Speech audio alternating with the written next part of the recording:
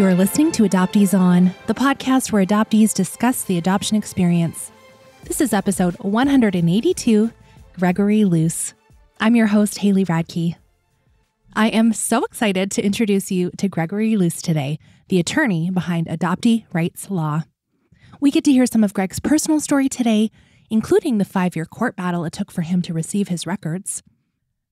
We talk about some of the typical arguments adoptee activists hear from legislators against original birth certificate access and what impact DNA testing access has had on OBC legislation. Greg also challenges us to make sure we're listening to all adoptee voices. Greg is a lawyer, but he's not giving us legal advice during this episode. We wrap up with some recommended resources, and as always, links to everything we'll be talking about today are on the website adopteeson.com. Let's listen in. I'm so pleased to welcome to Adoptees On Gregory Luce. Welcome, Gregory. Hi, Haley. It's good to be here. I would, l- I'm okay. First of all, I'm so thrilled to talk with you because I've followed you for years on Twitter have learned so much from you, but I'm really excited to get to hear some of your personal story. So, would you mind sharing some of that with us today? I am a DC born and adopted uh, person. I was born in 1965 in the District of Columbia, and seven days later, I ended up in uh, Silver Spring, Maryland, with um, my adoptive parents, and I have an adoptive brother as well. And I my story is probably pretty typical for most domestic adoptees, maybe most white domestic adoptees, but uh, I grew up always knowing I was adopted. I did wonder quite a bit as I got into my adolescence, and then wondered quite a bit more, and sort of had a breakdown when, um, as I think a lot of adoptees do, when they are about to become parents or have just become parents. And that was my sort of breaking point in trying to figure out who I am, where I came from, and to get information about that. And that was in, see, it goes way back to 1999, 2000. As I, I didn't really know anything about getting your records. And, and in fact, I think back in 2000, I was surprised to learn that I have two birth certificates. I didn't know that there was an original. And once I found out there was an original, it's like, oh, whoa, they're hiding that from me it's in a court somewhere and I can get it. So I researched it a little bit and, um, you know, I'm an attorney. I was an attorney at that point too. So I kind of knew what I was doing for the courts in the District of Columbia. It just said, you know, fill out this form, um, submit $80 and you'll um, be heard by the court. And so I did that and I got a, an order back saying, yes, we are unsealing your records. And so I'm like, woohoo, that was easy. And it didn't mean what it said it meant, though. It meant that they're going to unseal my file and then kick it over to the adoption agency. And then I got a letter shortly after from the adoption agency saying, well, if you pay us $500, we'll search for your parents and um, see if we can get your parents' consent. And I was not interested in that. I, you know, I'm not. I wasn't prepared for a reunion. I wasn't prepared to meet my parents, and so I said no thanks. So then with shortly after that, maybe six months, I had I had forgotten that I had done a one of these. They used to be private these private registries. I think they still exist. And this private registry was um, related to the D.C. area, so Maryland, Virginia, D.C., maybe parts of West Virginia. And lo and behold, there's a match, in um, the fall of 2000, and I met my birth mother through that. I mean, there's a and we met in towards the end of 2000. And then I think, if I'm still remembering correctly, she died 169 days later. So we did get to know each other. It was a wonderful reunion. She had been battling cancer for quite some time. And um, it's my belief she held on for this amount of time before to know that I was still alive and, and doing well. I ended up inheriting all of her records. She, I was an only child. Um, she later married my birth father, and they later got divorced as well. But I had thousands of documents from her. And so I rebuilt her life and rebuilt her life so I would understand it. And I became essentially her biographer or her historian. And then um, about uh, in 2015, and these things always take so much so much time. You you sit on it, you think through it. You're not quite sure what you want to do, life gets in the way. But in 2015, I said, you know, I'm going to give it another chance, and this time I'm going to go whole hog and and I'm going to throw the book at the court to try to get my records. And so I wrote a 35 page petition and memorandum and filed it with the court. And it took five years and two denials from the, the court, as well as a court of appeals case in DC, when they finally said, yes, you can have your original birth record and your father's name will be unredacted because their final decision at the trial court was yes, you can have your records. We need to figure out the privacy interests of your deceased mother. And we're not going to, even though you know the name of your father, we're not going to give you his name. Uh, we're going to redact that. And I got redacted uh, original birth record. That was what I appealed and won on that part. It's changed DC law a little bit in that respect. It means that consent of the birth parents is not the linchpin there. It has to take into account the paramount interest of the adopted person, but they do still um, attempt to contact the birth parents in DC to determine if they would release or what their preference is for releasing the records. I'm in a long snail mail relationship with my birth father. We write letters, plunk them in the mail, and open them and read them and reply maybe a few months later. So that uh, is ongoing and very slow, and I think eventually we'll meet at some point. But through all that, I mean, after coming away from from 2015, for the two years it took me just to navigate the courts in DC, I, I said, you know, this is nuts. This is crazy. I'm a lawyer, and it takes me this much effort to challenge the court and to try to get my records. What's it like in the rest of the states?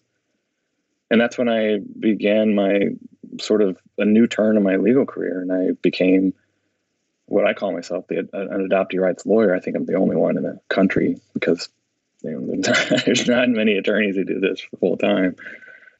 And uh, began Adoptee Rights Law Center as a law firm that re- represents adult adopted people. And that grew into not only birth records and identity documents, but also representing intercountry adoptees who either are having trouble proving citizenship or need to secure citizenship because they did not get it um, when they were young.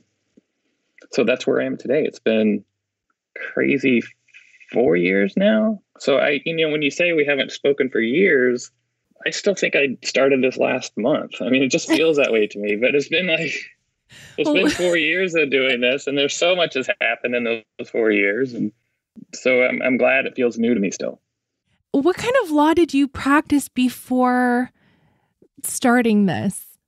All kinds. I clerked for a judge for a couple of years. I did employment law for a few years. I was a technology person at the State Bar Association. I ran a nonprofit um, that organized low income and uh, tenants in their buildings to fix their buildings up. I don't stay on, in positions very long. I just hop around because I get bored.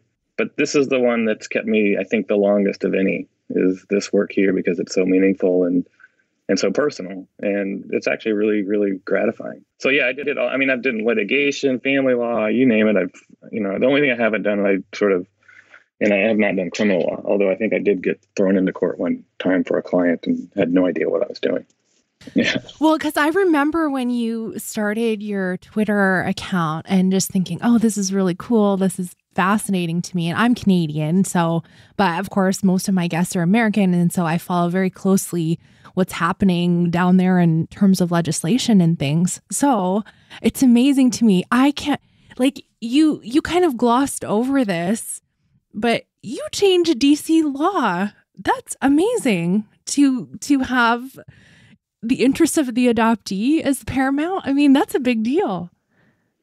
It, it is. It's uh, you know, it's not unrestricted right that you get through legislation, which is the next step. But it that's why I got into this was to figure out a way to change the law and figure out a way to make it so you do have an unrestricted right to request and obtain your original birth record if you're a domestic adoptee.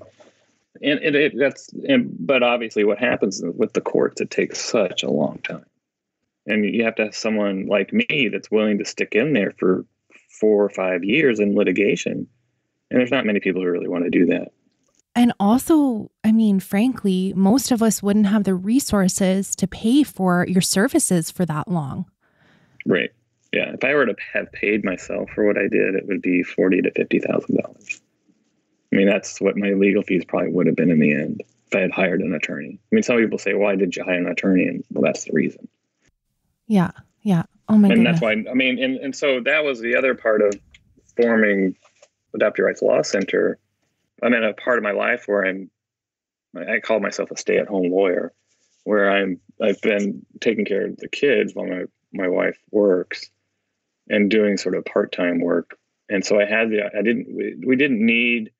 I mean, I'm privileged not to need to work to earn money in that sense. I mean, it's something we still need to to worry about, but not in the sense that many other people have to worry about. And so I started out with almost entirely pro bono cases because I knew that adoptees did not have the resources to pay thousand, two thousand, five thousand dollars to file a court case. And I've continued to do that. I have because there's so much demand though, I have been fairly careful now about what cases I take pro bono. And then those cases where a client can afford, I'll have a like a low flat fee that would cover petitioning a court and getting records the whole the whole case as opposed to an hourly fee. So that and that would range. I mean, it's cheaper than hiring, in, at least in Minnesota, it's cheaper than paying a thousand dollars, which is what it takes for the major adoption agency here to launch a search. And those searches depend upon consent to get any information back. So I'm I'm cheaper than the adoption agencies and and on in purpose, and still try to keep my services pro bono. And most of my intercountry adoptee cases are pro bono, not all, but most. Mm-hmm. So that's sort of my way of giving to the community, but also well keeping busy in an area in an area that I really love. So Yeah. Well, I I I didn't know your story before you shared it and um you know, I usually make notes and and I, you know, do research before my interviews and I had a note to ask you about what your thoughts on mutual consent registries were. And then it turns out that that's actually how you found your birth mother. Right. I mean, they never work. They, I mean, they're notorious and they are notoriously ineffective. And lo and behold, Sorry, I I just should just make a little note there. The reason I wanted to ask you that was because that's given as a reason like, well, mutual consent registries are available. So that's how, what you should use, you know, to search from some Right. legislators. I've heard that argument. right? No, they're just so terribly ineffective. No one knows about them. You have to sort of get lucky to find out about them. There has to be a match. They often don't work anyways, even if there is a match there, because they're something's messed up in the search algorithm or the search database. I mean, I just read a story in New York where they um, currently have an unrestricted right now. They changed the law. We've changed it. We helped change the law there. But this is these were two siblings who had both registered for the registry there 27 years ago, and they just found out from the registry 27 years later. So the registry did not work in that case, and that's typical, I think, for many of these registries, and they're just com- completely ineffective. Mhm. And of course, that's what that's so what's so interesting about my story is that they it worked, and it worked six months before my mother died. So just you know, it- it- quite amazing that it that's what happened. And this is you know, and it worked six months after, six months before she died, and six months after I had first petitioned the court. And the court had nothing to do with her registering. She just happened to register in, you know, I think in October of 2000 and I had registered, I think, back in 1987 or something. So that was, you know, 13 years there. I remember filling out those things as a teenager. You know, like we had the internet. I had um, you know, old computer, but I mean, well, it wasn't old, it was new. but you know, It was like an, an Amiga or something. yeah, I don't know. Uh, well, we had Apple for a while, and then I don't know what it was when we switched to PC. But I remember just like randomly filling out these online red database things, and like nothing ever came of that for me. But that was, you know, that was in the olden days. Well, obviously, I had forgotten completely that I had registered. And then up pops an email from the administrator of this registry, and everything's changed from there. Mm-hmm. Well, I find this really interesting because you have worked on changing statewide legislation, but also it's just like one off going to unseal one person at a time kind of a deal. Right. So, can you talk about the differences of those things? I mean, it's fairly obvious to me, but for a lot of people, they don't understand like closed records, da da da. Like you, you've got the whole, you've got this whole nail down. So, can you can you tell us that about that, please? Yeah, and it's a great question because I it's something I think about all the time. Well, there are two approaches you could take when you believe you have a right to obtain your original birth record. One is change the legislation so that they recognize that right, or in many cases, restore it in the state that used to have it. And the other is to find a legal argument that would make the courts uh, recognize uh, that right um, as a right. And the legislation is actually probably easier to do as hard as it is. It's probably easier to change the law than to establish a right through the courts. And so you have to have these dual tracks going, though, in which um, you're trying to pursue this right through legislation, but you're also trying to convince legislators that it is a right and they recognize it as right. Because that's part of creating a right is advocating for the belief that it is a right. And that's really important to, to realize that you don't so much, it, it is the pressure that you put on society through legislatures that will lead to them saying, well, yeah, you're right. If you put it that way, it really is a, a right. And that, how you define that is going to be the big question, both for legislation and both for the courts. And if you're sort of narrowly looking at it and you're narrowly saying we have an absolute right to the original birth record, that's going to be much harder to prove than we have a right to identity. And this is where I'm sort of moving in how I'm analyzing these things legally is that there's a much broader right to identity, to heritage, to citizenship that relates to birth. And that is the right that's really at issue. And that's why I'm so excited in some ways that in more recently I've been connecting with the donor conceived community who have these same identity rights that come up. They're, they call them genetic identity rights or any number of different rights. And it's a very complicated area, but it is, it, it encompasses this broad right to your own identity. And I think that's where we're going to find a lot of support moving toward moving into the future. It's not a very uh, so that the the right to the birth record is a right that arises out of a right to full identity. And so I'm, I'm seeing organizations arising, and there's one in Switzerland now called um, childidentity.org. I think there's a hyphen between child and identity.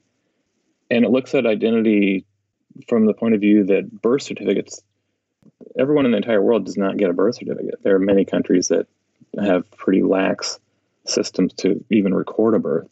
And so that in itself is a, is a right to have a birth certificate or a birth record.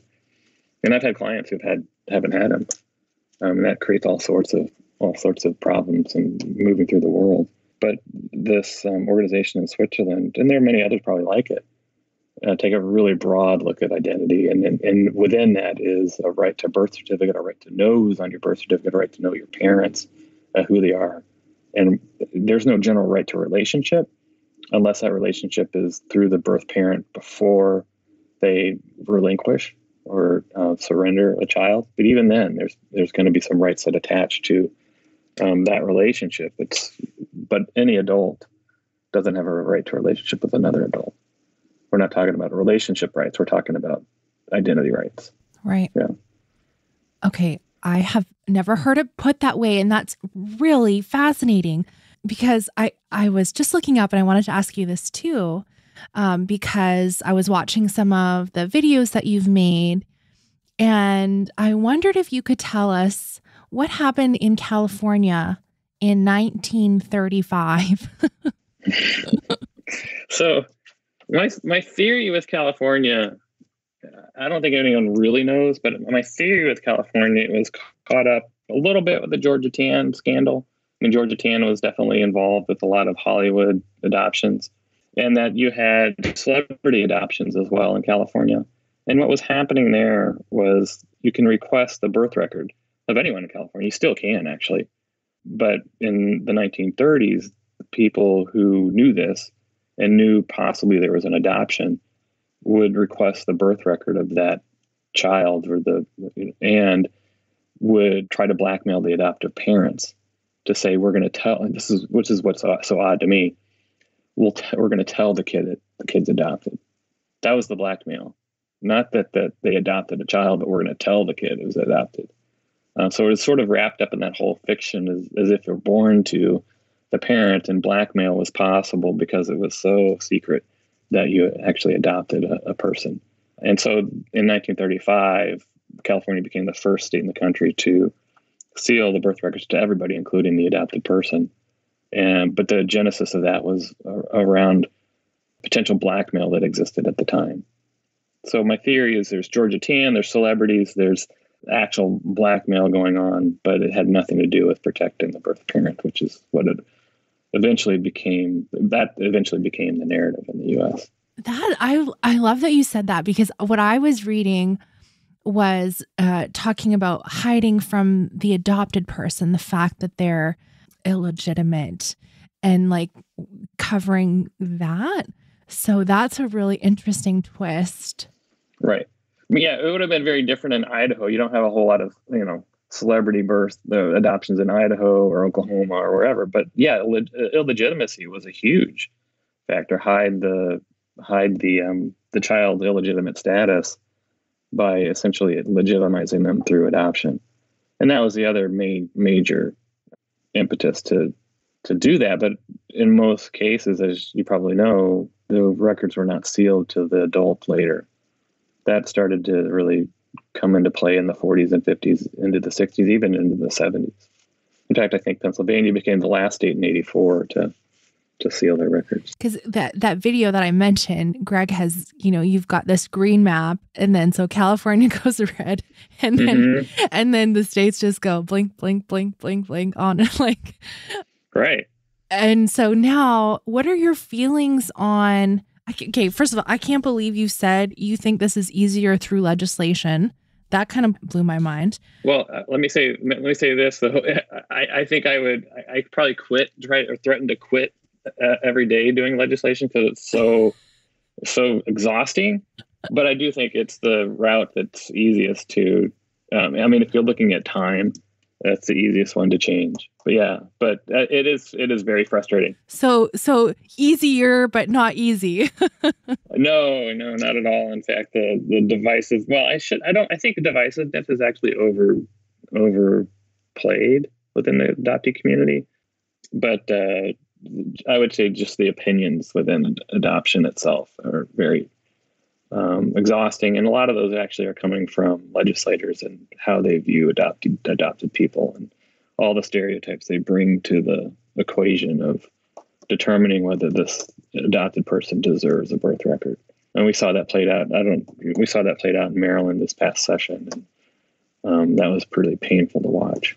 Can you talk a little bit about that and what you mean by how they see adoptees.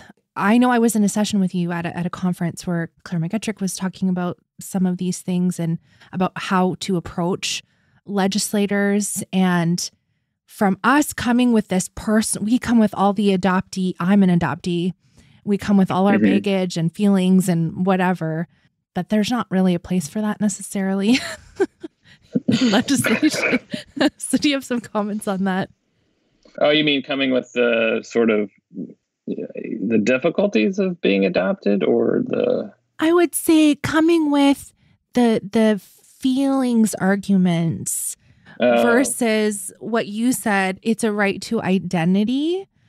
hmm Yeah, the feelings the feelings it's a it's a hard balance because you know you have to be human when you when you advocate. You have to convince legislators that yes, we are human and yes, we have feelings, but you don't want to overplay those. You have to balance that with the right that you're um, asserting. And so that can be difficult sometimes. I mean, some people come into this legislation with more, I, would say, more come into it with um, believing this may solve their issues, that getting the birth record will solve other emotional issues that they may have associated with the adoption. And it doesn't necessarily it may contribute to solving issues, but the the right to your record and your identity is is the first step. It's the, sort of the that basic right of of your record, and so that's where you have to sort of concentrate on that record, and maybe it's its potential for use, but not um, what it can do simply by possessing it. And, and it's very meaningful to possess it. I almost cried when I, I mean, I just got my original birth record unredacted in um, November of 2020, so less than a year ago, after 20 years of trying to find it, and it was very meaningful to get that. And that's the first. That's always the first step to whatever you do with it. Um, once you do have it, so I think it is a it's a real balance to figure out how you approach legislators and um, convince them that it is a right. You don't back down on that. I mean, if you back down on on this is a right, then they know how to split you off from others who don't believe it's a right or think that you're overplaying what it is. And so you have to be really firm that it is a right. Um, you're not going to back down on that because you're trying to convince them that it is. And that's, I think, very hard for some people, especially adopted people, to be firm in this right because you're taught for most of your life you don't deserve it. It's not yours. It said you don't deserve it. You're going to mess things up if you get it. You weren't supposed to know. I mean, all these sort of myths that go along with that make make it hard, I think, for some adopted people to say, no, no, I don't care what you think of me. Think about what I need uh, as a adopted person and the right that I have to have my own birth record. It's not your birth record, it's mine. And so I think that's the the hard part to deal with with legislators. And they often come to this with all the myths of what an adoptee is, and often we're perpetual children. I mean, that's really at, at the heart of it is we're not treated as full adults. We're treated as the at, at the time we were born as children. And that's the hardest thing to to listen to and and see underneath it all is that we're not treated as fully human. And that's what we saw in Maryland. I think we saw, you know, there are the myths of we're going to destroy families, we're going to out birth parents, we're going to show up at the door, and we have to hide these birth parents from the shame that um, that they had, but it was shame that was produced by the state, and so it's shame that's perpetuated by the state today. That's that's what I think they don't recognize either with its perpetual shame it's perpetuated by the laws that we currently have. And what are you hearing from um, legislators or other other people that are you're in contact with doing similar work in other um, OBC rights access organizations with the argument about DNA? Like, what's what's less shameful getting your, you know, connected to the third cousin who then, mm-hmm. you know, digs up who your birth mother is versus having your paperwork? Right. It's a that's a great question, and I sort of take it by making sure we don't put all our eggs into the DNA basket, so to speak. Meaning, I mean, part of it, an argument is always, well, it's it's become irrelevant in many ways to uh, not provide this record a lot of legislators still don't get that. They're so protective of the myth that existed when a child was relinquished in the 40s, 50s, and 60s. That doesn't. That it doesn't matter to them. So what I often say too is that these methods of trying to find out just the names of your parents are so deeply embedded in who we are as adopted people. Not all adopted people, but many. That we've been using different methods for decades to do that. We've been using private investigators. We've been using searchers where you pay $2,500 in cash in an envelope through an intermediary. Uh, we have search angels.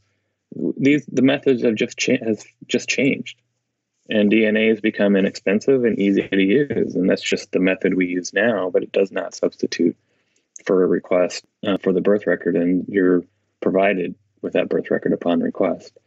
But you're right, it does, and I've used this in court if you have DNA and you get these matches to third cousins, second cousins, more increasingly first cousins, and you then get a, I usually use search angels with my clients because I don't do this the the investigation to try to find people. That search angel will take that list of matches and then start going down that list. And what I've done in many of my court cases where we don't know who the birth parent is, we narrow it down. And then I get an affidavit from the search angel explaining exactly what she, usually she, is going to do over the next two months to try to locate and identify that birth parent. And that means calling 200 people, uh, contacting people on social media, using existing databases to find them. And so I, I put that all in an affidavit and I say to the court, who, to be honest, is the fact finder. They're the ones who are looking at all these facts and making a decision, like legislators really should be doing in the sense of creating legislation. And the judges in almost every case say, well, I'm just going to release you the to the record, the birth record, because that's way better than this route you're outlining here of contacting 40 people and asking the question, do you know um, if a cousin or an aunt or someone gave up a child or surrendered a child to adoption in 1975? That question then reverberates across generations as opposed to requesting the record and receiving it and doing what you want with it. So judges understand that. Um, they respond to it. They're the fact finders, neutral fact finders, hopefully. Uh, legislators have not yet fully understood that, and some don't really want to understand. I, I tell people that this issue is bipartisan. It really is. You get staunch Republicans who are fully in favor of of a right to your own birth record. You get Democrats who are very similar. It skews a little bit Democratic depending upon what abortion politics are in play in that state. But the biggest factor, and Annette O'Connell in New York really brought this home to me, is age or generation. It's a generational difference. The younger the legislator is in general, the more they're not going to care, that they're not going to see the big deal. I mean, they're going to care, but they're not going to see the big deal of releasing an identity record. Whereas the older legislators are locked into the myth that developed around adoption in the 40s, 50s, 60s, into the 70s, and are unwilling to let go of that myth. And so it's really skewed by age more than anything else. So I know you're an attorney, and I know you you have this view of the the courts and the judges, and, and it's very like like that lot most of us would not understand. But when you are talking about fighting for your own record and literally saying, mm-hmm. I already have my uh, birth parents' names and I already have this information. Like, what are you feeling inside? Like, it just sounds so ludicrous. Like, like how can you not give me this paper because I already know what it's on, what's on it? Are you just not like, is this all a farce? Like, am I being punked? Like, what is happening right now?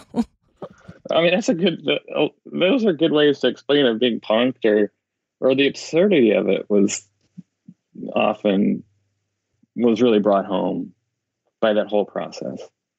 It's like, I, what are you? I, I just they're hiding things for the sake of hiding things. At, at some point, they're just we we're so locked into hiding this birth record that that's the reason we're hiding it because we're hiding it, and that that circular absurdity was really what was brought home to me. And, and I, I've written about this on my personal blog.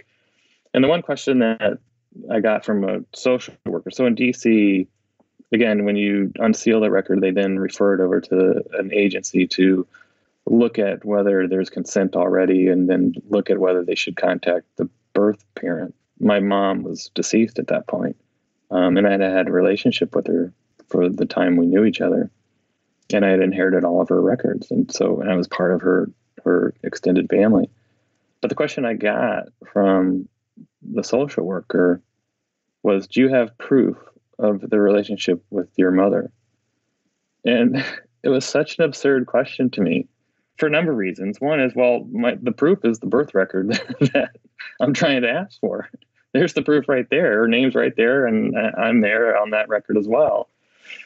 But the, what I wrote about was all the records that I have, uh, you know, and, and, the absurdity of what I was, I was almost uh, using satire in some ways in what I sent back to the the social worker, and that satire was I, I gave her Christmas cards that we sent to each other. I gave her uh, other cards that we sent to each other. I gave her. I have a recording of her on New Year's Eve, uh, saying New Year's Eve. It's on my. The, back in the days where you had actual machines that recorded voicemail. I have video of being at her home in, in Florida for Christmas. So do, do I send all of those things into the social worker to, to prove that I had a relationship with her? It was just so absurd. And I think that may be where a lot of people would give up. And I, I would not blame them either. And a lot of adoptees probably give up as part of this process. And sometimes it's so hard, especially the court process. But um, I knew I was right. I knew that I had a I had a legal point here to make as well, and I stuck with it. And you know, I can I can deal with. I mean, I've over the years I've learned how to deal with the absurdity as well, and I, I think that's what I like as being a lawyer is I can deal with that absurdity in a constructive way, but I do feel for my clients who have to deal with it on a very personal level. Like I have a client in the last three weeks who's really gone through the wringer of we've got a birth record, but she wanted a baptismal certificate. She wanted the original baptismal certificate. I don't know if many people know, but in the Catholic Church, they issue amended birth uh, baptismal certificates that have make it appear as if your adoptive parents were at the baptism, which physically this was impossible. And she wanted her original baptismal certificate, and we got a court order to for the agency to supply it. And the agency said, "Well, you need to pay our fees to do that," and the fees approached around four hundred dollars just to open the file and to release an original baptismal certificate. Four hundred dollars. It was just so absurd. And there's not much you can do on that because you're dealing with usually a private adoption agency. And so they really have a, a lot of power there. And so she paid, I think we negotiated the fee down. But again, the absurdity of hiding things for the sake of hiding them is really what comes home to me and to my clients as well.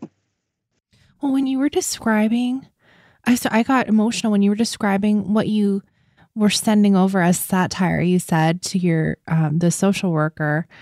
I was thinking, like, who who has a right to privacy here? Like, I have to, you know, sorry to say this, use this wording, Greg, but it just what come to my mind. Prostitute my precious memories when I only had 164 days with my birth mother, and now I have to show you all these precious things to me. Like, that is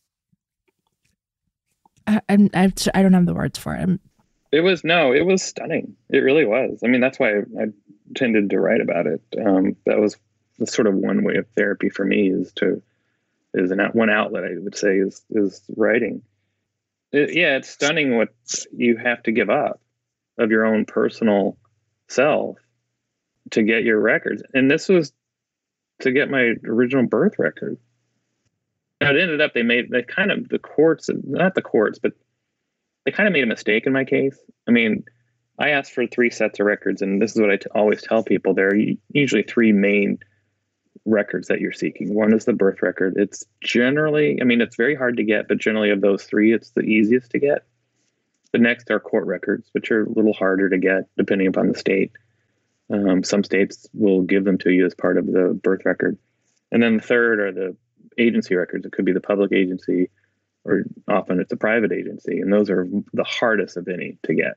Usually, it's in a private agency. The courts don't really want to order a private agency to re- relinquish records. And in my case, they gave me 77 pages of agency records. They redacted my father's birth name, but I already knew who that was, so I just would fill it in every time that redaction came along.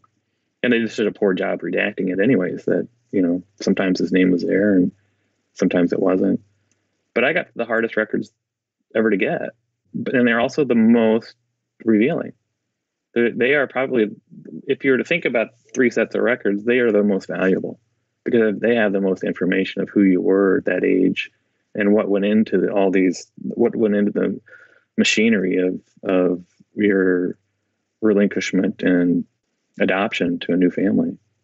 And so I learned quite a bit from those agency records. And I, you know, there's a there was a Georgia adoptee adoptee that was on our an event recently, and she also got a scad of agency records, and they were incredibly helpful. But the, what they couldn't answer for her was she was in foster care for five months, and there there are no records related to that, and that's often the hole that people have. I had a seven day hole where I was probably in between the hospital and the maternity home. It's not that hard to fill in those seven days, but people who have five months to fill, where foster care records aren't typically provided anywhere, that's much harder. But you're right. It's it's this whole issue of you could call it prostituting yourself to to prove that you're entitled to your own information. It's just bizarre and absurd. And I don't wish it on anyone. And I'm not going to insist on clients to follow through. And if they don't want to, I mean, I can't, I don't have that power, but I certainly leave it up to them as to whether they want to, how much, how hard they want to fight for that and what they have to give up to get it. Thank you for sharing that. We're going to do our recommended resources, but before we do that, is there anything else that you want to say to adopted people or share further about your story or or anything that you you really want adopted people to know?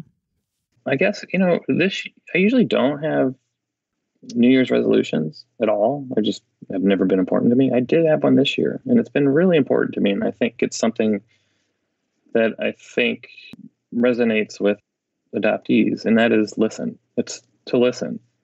And not saying you listen to those voices that you hear all the time, especially in adoption. You know, it, we're, it's often the adoptee is not centered when there's discussion about adoption. I'm talking about what are the voices we're not hearing right now in uh, adoptee rights work, and a lot of those are transracial adoptees, intercountry adoptees, in-race adoptees, and so these are the voices I think that one, it's the future of adoptee rights work, um, and it's the voices that I think we need to um, not only listen to but follow.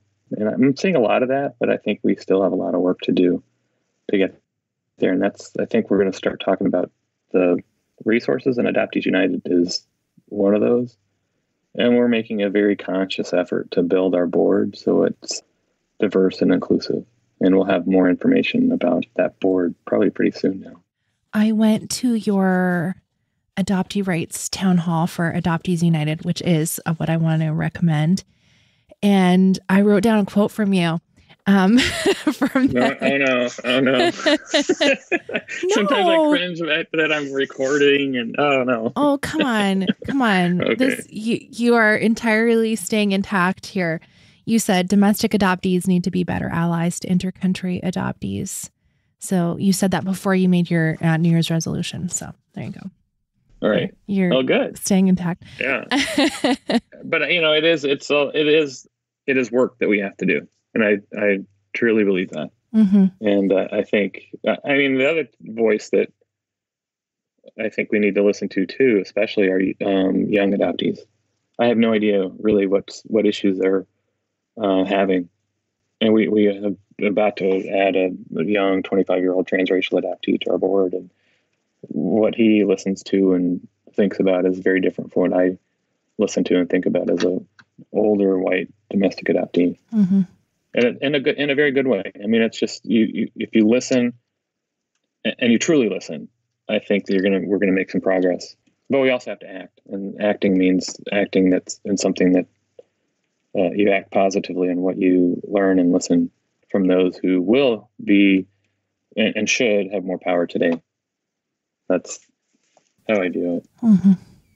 Well, thank you. I really appreciate you sharing your story and so much wisdom about um, adoptee rights. Like, I love that your name is Adoptee Rights Law Center. Like, it's very, that's it. That is it. well, no, it's, but it also sounds like I'm, I've got a staff of th- 30 and, you know, I'm a center. And so someday, come on. We, uh, you got to live into it now. That's, that's all.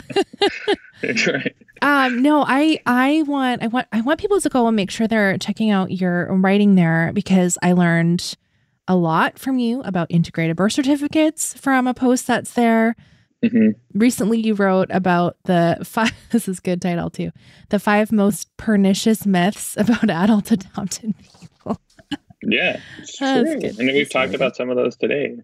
Yeah, we did. But Adoptees United, especially, can you tell us more about what that organization is uh, meant to do and what your plans are for um, Adoptees United. We're going state by state legislatively, and that was sort of for me, it was Minnesota court cases um, and also intercountry adoption, uh, intercountry adoptee work.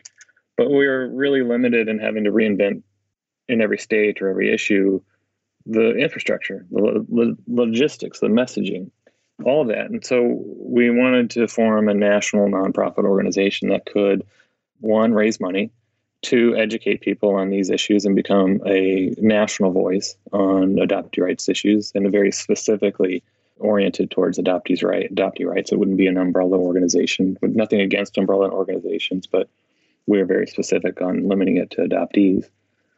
But also building coalitions. The coalition was largely responsible for what happened recently in New York. Coalitions work because it brings different organizations together that may not want to work together uh, without having some structure behind it or some bottom line commitment to what we're all after. And so Adoptees United helps form those coalitions. It helps with the logistics of websites. It helps with the logistics of emails, and it it it for it it helps the local advocates, which make all the difference. Those people who are in the state trying to make change, to focus in on their advocacy work. That is going to actually physically going to the legislature and lobbying for the legislation that we need. So it's so it's a national organization that could raise money, provide education, and also provide logistics behind legislative efforts across the country, and also uh, hopefully as we very consciously build our board, become a very diverse and inclusive voice as well. I mean, I, I kind of see myself, I'm the president of Adoptees United, but I kind of see myself more as an administrator to get it to where it needs to go. Uh, I'd like not to be the head of it for you know two years from now. I think it needs to have uh, leadership that changes to reflect where we're going with adoptee rights.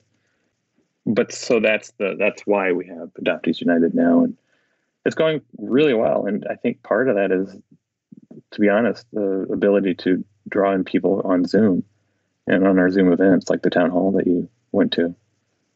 Can adoptees um, and if not, what's the best way? Can adoptees that are interested in um, changing legislation in their state, but they don't know where to go, can they mm-hmm. connect with Adoptees United, or where's the best place for people that are itching to do the work go? That's what I would recommend: is contact us at Adoptees United. That um, there's a form there to fill out, or they can certainly just contact me directly at um, Adoptee Rights Law Center because I'll just hook them in. But that's how it that, that's how it happens. I mean, it's both a combination of the events that we do and what grows out of those. Because um, we're now actively trying to build coalitions in California. There's a real interest in a southeastern United States coalition that's not just Florida or Georgia or uh, Louisiana specific. But these regional ones, I think, is a really good model for the future. And partially that because we're such fun, you know, I, I say we're such fungible creatures, adoptees. We may have been born in one state, and but we likely live in another state at this point. and so therefore we're not a constituent in the state that holds our birth records or any records, and so we're kind of disenfranchised in that way. But regionally, we'd be more powerful in that we're trying to build these regional coalitions. We have one that's the Capital Coalition for Adoptee Rights, and that was the one that was involved in Maryland, and we'll probably see DC happening next. Uh, Maryland got defeated. Probably going to be a couple of years before we go back to Maryland, but DC may be the next one as well. Yeah, so it's it's building those those regional coalitions, and in the bigger states like California, maybe a state only a state level coalition because it's so big. It is big. I got a lot of California listeners, so hopefully we'll find some people oh for oh you God. here. It is it is by far it is by far the most requests I get from adoptees is how to get your birth records in California and and it's such a such a restricted state. Wow, I'm so excited. Glad we have it. I think it's great. I think it's really great. So I hope that you guys are able to follow Adoptees United, watch out for their events that are coming up. And if you're itching to, you know, do some work, if you're like ready, um, they're ready for you. Um, what do you want to recommend for us today, Greg? boy, there's so many books that I have. I, I you know, American Baby is one that um, the book by Gabrielle Glaser. Look at all my book tabs. Yeah, there. Yeah, I happen to have one of the few paperback because I have like the galley version. Oh, you so fancy. Yeah. You got reference in this book. I know. I saw that. That was so generous of her to do that. And I've been in touch with Gabrielle for a long for a while now, and um, she's been doing such a terrific job of of getting the issue of secrecy and adoption out there and discussed. And I think it may have even led to that Steve Inskeep piece that we saw uh, more recently. But that that's a book that I'd recommend. Cleave is a book of poetry. I have it around here. Tiana Nobile. oh, I just went to her. I just went to her. Um, her poetry, her, the launch. Oh, cool. It was wonderful. Uh, So another one is um, by Megan Galbraith, and it's the Guild of the Infant Savior. I'm looking forward to that one. I think that's out in mid-May, end of May. Yes, it's coming out soon, and she's going to be on the show. So we're Oh, good. Yay. very excited. You can look forward to that. But I have a whole pile. I mean, and then I still came across all sorts of books from the past that I've written several years ago. That Invisible Asians is one by a professor at, um, in Minnesota. So one that's up that out right now is Surviving the White Gaze by Rebecca Carroll. Um, that's a memoir. She's a, a black adoptee, grew up in a white family in New England, and is a cultural critic for well, has been a cultural critic for many prominent publications in the past. So I I, would, I always recommend books, and uh, you know, I don't often have time to read them, so it's like I just listed a bunch of books that I have that I haven't even read yet. So. Well, but they look so good. they look so good. I have read them. they are good. I haven't read all of the ones you mentioned, but I've read most of Right. them. Right. Oh my gosh. Oh, that's hilarious. Well, if you would like more dry humor from Greg and uh, wisdom about adoptee rights issues, where can we uh, connect with you online? The best way is probably Adoptee Rights Law Center, and that's at adopteerightslaw.com. Or I'm more active on Twitter than any other social media, and that's Adoptee Law on, on Twitter. Wonderful. Thank you so much for sharing with us today. I hope Greg will come back because I had so many more questions for him and I just want to know more about the people who are doing such great work on our behalf and like what passions propel them and and I just want to like get all their wisdom so that I can help you advocate and me advocate for other adult adoptees. So, what a gem. Love Greg. He is such a gift to the community and has done such great things. He's too modest. He's he's he's he's very modest and you he probably wouldn't have told us half of those things without a little pressing. So, I'm so thrilled that Adoptees United exists and is going to hopefully uh, connect more advocates nationwide. So I do encourage you, if that's something that's been on your heart, like get after it. We need more people uh, speaking up for OBC. And I know there's lots of people already doing it. So join in with them and see how many more states you can get opened up uh, down there. Anyway, I am so grateful for Greg's voice and so many of the other guests we've had recently, really sharing such powerful things with us. And I'm also very thankful to my Patreon supporters. You know, I couldn't do the show without you. So thank you so much. You know who you are. You know, some people like list off names of Patreon supporters, but I've never done that because I know some of you are very private and you um, don't necessarily want, you know, people to know. But I see you, I know you, and I'm really grateful. I wouldn't be able to do this without you. So if you want to join my friends that are supporting the show every month, you can go to adopteeson.com slash partner to find out details of how you can support the show and keep it going, and also how you can access my other weekly podcast. I do I do two podcasts a week. I feel like that's too much. Anyway, it's Adoptees Off Script, and we have a monthly book club over there. We have lots of silly news report. It's not silly, but sometimes I get a little bit silly. News reporting on adoptee things that are happening. We break down uh, news articles that are you'll, you'll you'll just you'll find out the real Haley and how much I want to hear adoptee voices over anybody else's. I'll just leave it at that. Um, sometimes to my detriment. Thank you so much for listening. Let's talk again next Friday.